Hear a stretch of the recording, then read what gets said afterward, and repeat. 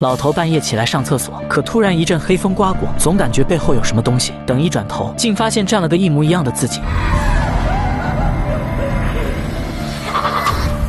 所以这是个什么东西啊？这个玩意儿也是个异兽，叫双生子。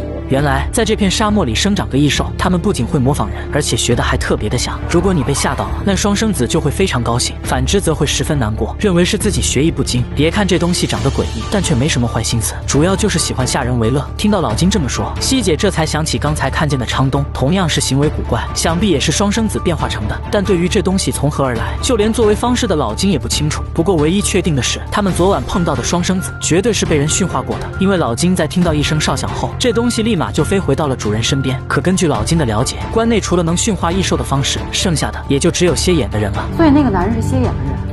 随后，在老金的讲述下，众人这才明白过来，原来关内有一伙乱党，俗称蝎眼。他们不仅能驯化异兽，还能养出巨型蝎子，并且他们的首领经常会在眼角画蝎子作为标记。听到老金这么说，昌东也是瞬间起了疑心，因为早在进关之前，西姐就经常在眼角画蝎子，难不成她也是蝎眼的人？可如果真是这样，那西姐作为蝎眼的首领，早就该被认出来才对啊！还没等昌东搞清楚，隔天他们就碰到了更大的麻烦。一个男人借着问路的机会，突然掏出匕首，小心动！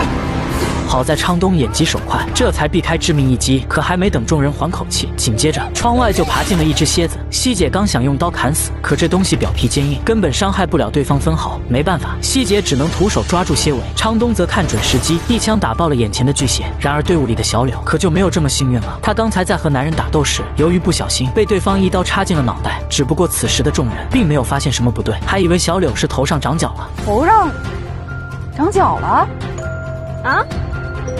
什么角？别动啊！听着朋友们这么说，小柳一时间也是摸不着头脑，只是觉得脑袋有点漏风。等他走向车窗时，这才从玻璃中发现自己头上插着的那把钢刀。小柳，快扶他上车！众人来不及思考，赶紧带着小柳前往医院。可问题是在这一望无际的沙漠里，他们真能找到医院吗？